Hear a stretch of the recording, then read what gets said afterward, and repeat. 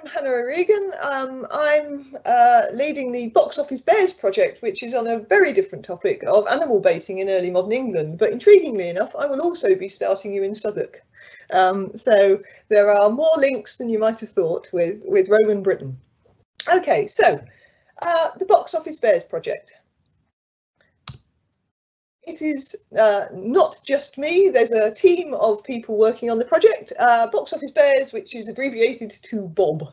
Now, Bob is, um, uh, it is me, it is uh, Dr. Callan Davies, who's uh, doing the archival work. We've got Dr. Lizzie Wright, who's doing the zoo archaeology, Dr. Andy Kesson, who is a um, specialist in early modern theatre and also in performance, which is a, a, key part of our of our project, and Greger Larson, who's an ancient DNA specialist, and uh, we will also be having an ancient DNA postdoc uh, to be appointed next year. The project's funded by the Arts and Humanities Research Council, uh, running until uh, October 2023. So we're running up to the uh, Shakespeare First Folio Festival and our project partners are Mola, as Mola have um, excavated many of the sites that I'm going to be talking about to you this evening. Okay, so that's the team, that's what we're up to. But we're studying animal slash bear baiting, so what is it? Um, it's not very nice, I think is a, is a fairly uh, standard place to start. So in 1174, William Fitzstephen recorded that in London on feast days, huge bears do battle with hounds let loose upon them. And that is basically a description of bear baiting from what nearly 800 years ago. And so, but animal baiting, it's not just bears, it's bulls, it's occasionally lions, it's all sorts of different animals, but usually a large animal pitted against multiple dogs. Um, that animal is tethered and then the dogs are um, let loose upon them, as Fitzstephen said. And here we've got an, uh, a little uh, picture from the Smithfield Decretals dating to sort of 1340. So again, a medieval example. And we've got this rather shy bear with the most wonderful claws on his paws, um, hiding behind a tree from two rather fierce looking dogs. And this is probably uh, an indication of bear baiting. And I'd also like you to note that the bear is wearing a muzzle. And that is a, um, a sort of constant when we're looking at um, uh, at imagery of bear baiting, except for the one that I'm about to show you. So this is um, said to be an image of bear baiting, but I do wonder to what extent it might be bear hunting because several of the things like the muzzle, like the stake, are missing from the image. Anyway, the reason I've put this up is that when we think of early modern London, we think of the playhouses, we think of Shakespeare, we don't tend to think of blood sports. Um, and when we do, we think, oh, that's a bit odd. Um, how does that integrate with things like Hamlet and the, you know, the wonders of, of um, sort of early modern theatre? I think that's in part because we've tended not to think about the other aspects that made the life of um, early modern England very different to ours. And for those of you out there who are early modern theatre specialists, please you know, forgive me this um, exceedingly broad brush approach. So we've got three major forms of public entertainment happening. I mean, there are there are others as well. You've got performances, you've got street performances and things, but you've you've got your public executions and floggings and and other judicial punishments happening in the street that you can go along and watch. You've got your plays and you've got baitings. And I think a key point here is that people will have attended all of these things and that in fact the executions and the floggings were free, whereas you had to pay for the baitings and the playhouses. But the playhouses and the baiting arenas were next door to one another. The people who are attending the plays are attending the baitings. There is no there is not necessarily a separation between someone who would go to see a bear bait and someone who would go to see King Lear. Um, it is they are the same audiences.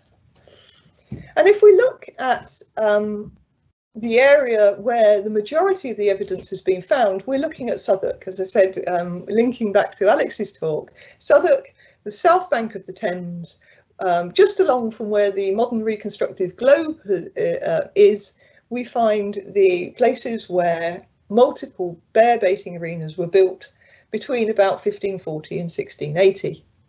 Now this diagram is from the Hope Playhouse volume and I've adjusted it a bit to, to put the labels on that of most um, use to me this evening. And what you can see is that there's been multiple bear gardens at different points. So there's sort of a sequence of different bear gardens, but we've also got a sequence of playhouses. Uh, and so we've got Bear Garden number three, we've got the Hope Theatre, we've got the Rose, we've got the Globe. As I said, the, the people attending the playhouses will be walking past the bear gardens, the people in visiting the bear gardens will be going to the playhouses, and the Hope exemplifies this completely by being uh, an, an uh, playhouse and arena that was built for both. It was a dual purpose uh, arena that was intended to be both for animal baiting and for playing, the playing didn't last there for very long, only for a few years, and after that it became an animal baiting arena. But that just exemplifies the fact that these two things are completely intertwined. Um, people are running them as the same, in the same buildings. The same people are running both baiting and uh, the playhouse. Now, thinking about bears in plays, they do actually turn up, actual bears in plays. I mean, whether there were live bears on stage is a completely different question, but the idea of bears being present within people's lives in this early modern period is absolutely, definitely there. Bears would be turning up in your towns and villages. It's not a purely London-centric thing, baiting, but this is where we have the best evidence. Um, and so bears are turning up in plays, and I just want to draw your attention to the bottom three, which are from sort of 1610 onwards, where there's a number of, of bear plays uh, being written and performed. Now, We've got bears appearing in plays, but we also have bears being mentioned in plays. And in Merry Wives of Windsor, we have um, Sackerson mentioned. I have seen Sackerson loose 20 times and have taken him by the chain. Sackerson is a bear. And so he was famous enough to have been mentioned within this play and for people to have known what that meant. Um, now, so that's an example of one of these bears actually being mentioned. I'll get back to bears being named in a minute. But we've also got bears, uh, sort of allusions to baiting, not bears themselves, but allusions to baiting in other plays. So, for example, in Macbeth here, they have tied me to a stake I cannot fly, but bear-like I must fight the course. There is, you know, that is absolutely a description of bear baiting, and Macbeth is is placing himself in the position of the bear at the stake. I must fight the course, an allusion to a time period in which that fight would take place. And that actually is an is an interesting point. We don't quite know how um, baiting works, you know, to what extent where the bait where what is being bet on and how it's being bet on. But we suspect that betting that's off the books, shall we say, is happening quite a lot. And then um, in Twelfth Night, if you think about Twelfth Night, Malvolio, it is effectively baiting all the way through. People are baiting Malvolio. And eventually he says, I will be revenged on the whole pack of you. They are the dogs, he is the bear. It's bear baiting illusions once again. So it's implicit in a number of different sort of cultural examples. Um, this baiting, which is going to be known to people, as I say, in every town and village across the country, bears would be turning up to be baited um, for sort of festivals and other occasions. Now, what about the animals? Well, we have um, the remains of a number of uh, different bears in, in the Southwark deposits. Uh, there's also remains of dogs and horses and bulls, and um, that's what Lizzie will be working on um, um, with our project partners Mola to, to look at these, um, these remains. And you know, we can um, we can e examine these bones and tell all sorts of things from them. But I just wanted to show you this example, which is in the Dulwich College archives.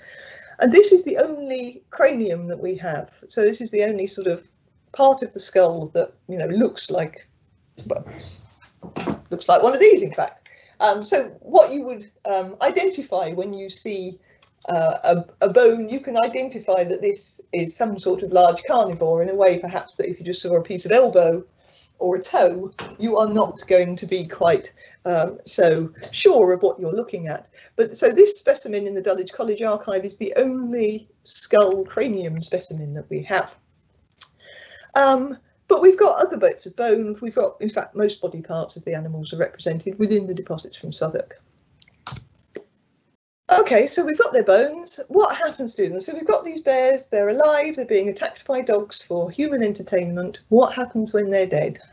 Well, if we look at this bone, which is actually a piece of a hip bone, so it's the top part of the hip, and you can see that it's got all of these little sort of crenellations. It's got these little um, zigzaggy edges all the way along the bottom part, and that is an indication of gnawing.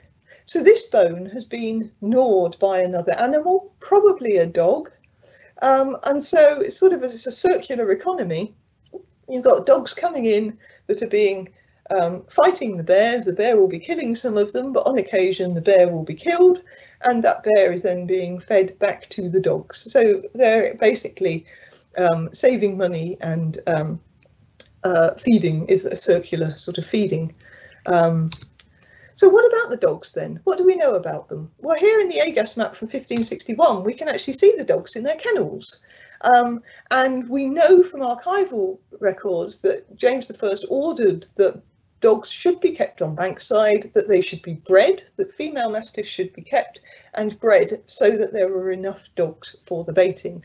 Because in terms of baiting, you know, dogs are going to die more frequently than the bears.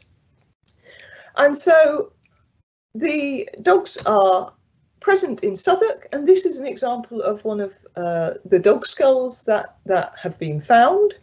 And um, it's about 20 centimetres long, so it's a pretty large dog. And we can tell all sorts of things about it. So, so part of this project is to construct osteobiographies. And for this dog, for example, with its DNA, we can we can find out what sex it is. So is it a male or a female dog? We can um, look at its size. We can compare it to other dogs of the same period. Is it larger or smaller than, than the typical early modern dog? we can look at its bone and tooth chemistry and look at its diet. So can we see that it's eating the bears? How do they? How does the diet of the different animals within the um, deposits from the arenas relate to one another? We can look at their tooth chemistry to see, to some extent, whether this dog was born in Southwark or had been moved in there from somewhere else. And we have archival records that suggest that dogs are being imported to London for the baiting. So can we see that um, in their teeth? We can also, uh, with the wonders of modern ancient DNA, look at the coat colour of these animals. And that feeds into questions about um, the betting um, and the spectacle of baiting. So do we only have black dogs or brown dogs fighting? You know, might that be a thing? It's all uniform animals. Or do we have different coloured dogs? So we've got, you know, a, a, spotty dog, we've got a white dog, we've got a black dog, and that does that make baiting easier? So you can you can uh, bet on the on the black dog, and that way you know which you know whether you've been successful or not.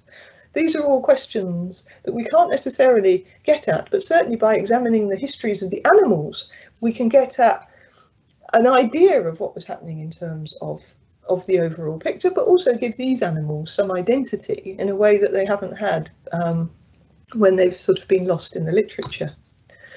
Now, visualising bear baiting, I've shown you a couple of examples, um, but these are, these are slightly later ceramics, so from about 1750s onwards, made in Staffordshire and Nottinghamshire. We've got brown salt glazed uh, bears, which are made in uh, uh, Nottinghamshire, and these white ones, which are said to be made in Staffordshire.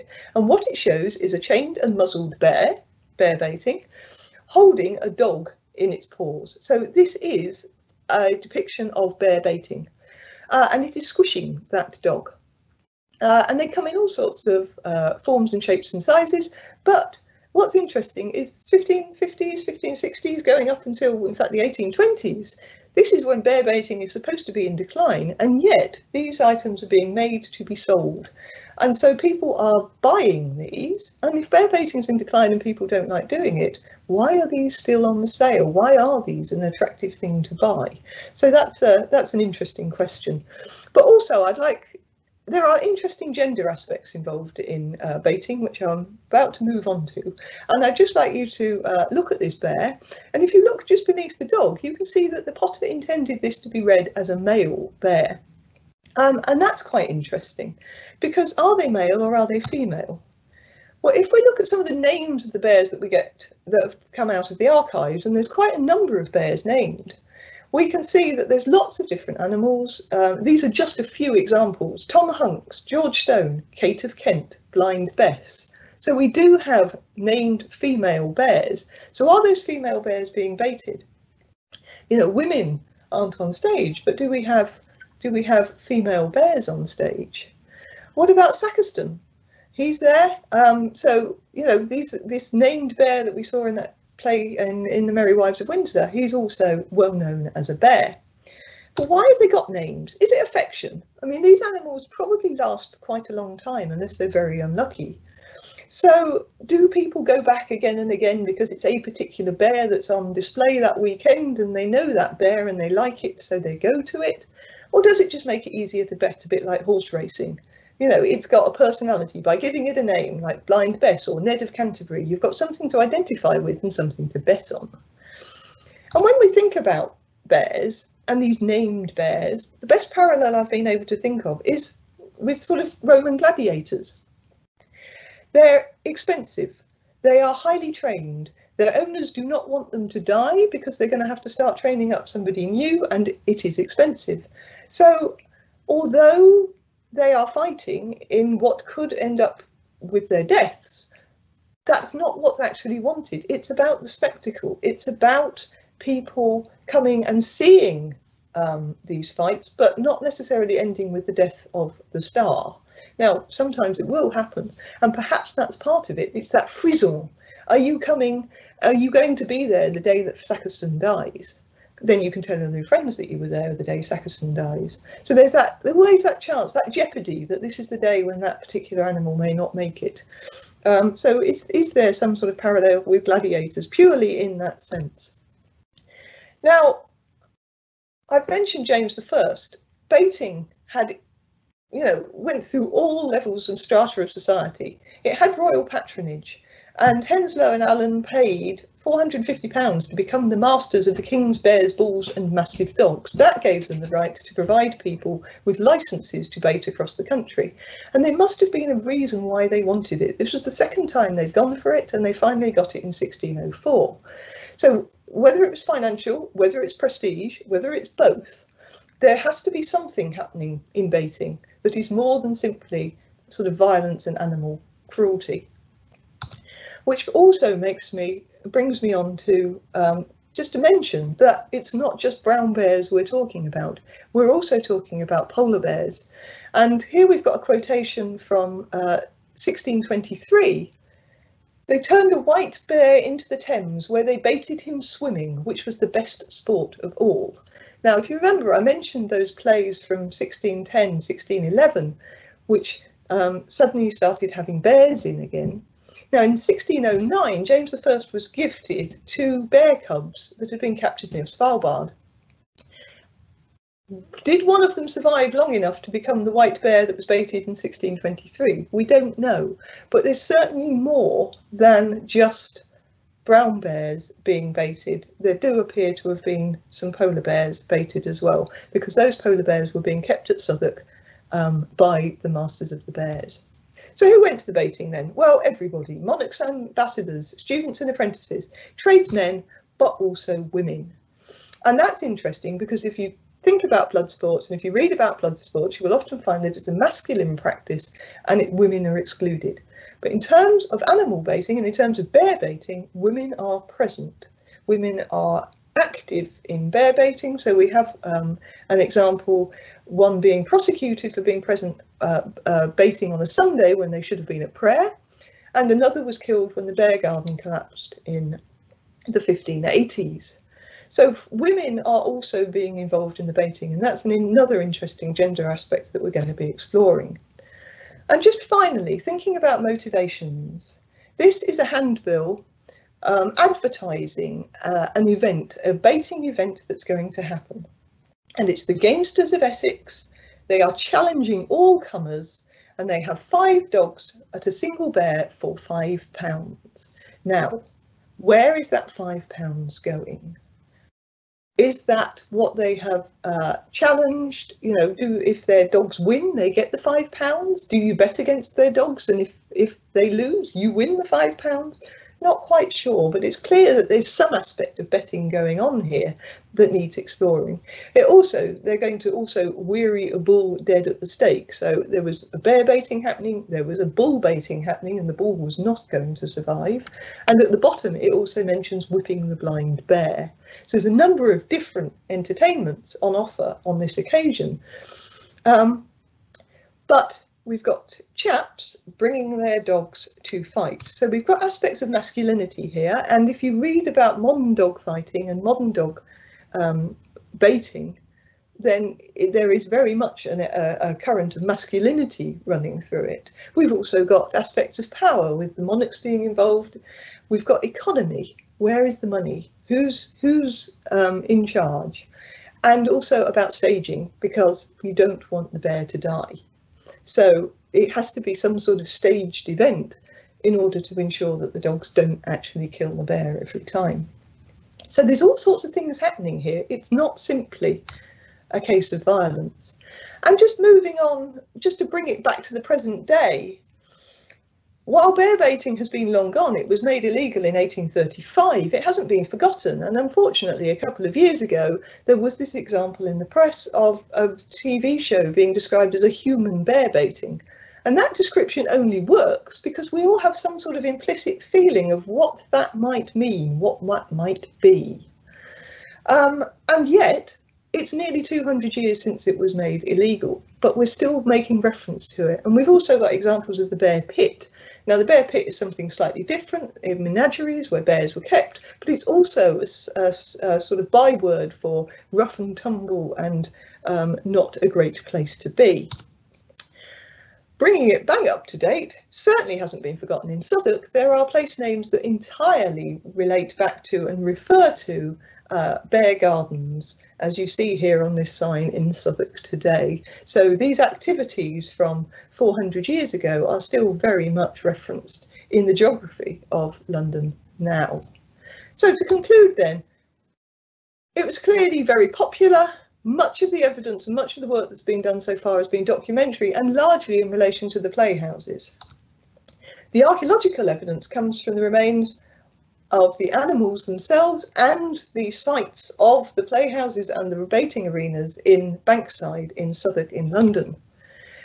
Pulling together the archival records and the faunal remains will provide us with much more insight into the practice of bear baiting and we're putting animals at the centre of the story by telling their stories as well. And I think it's really important to to reflect on the fact that baiting isn't just about violence. It's very easy for us, and, and I mean, it is about violence and it's about animal cruelty, but it was an integral part of early modern entertainment and economy. It was much, much more than simply dogs attacking a bear. And that's me done. Thank you.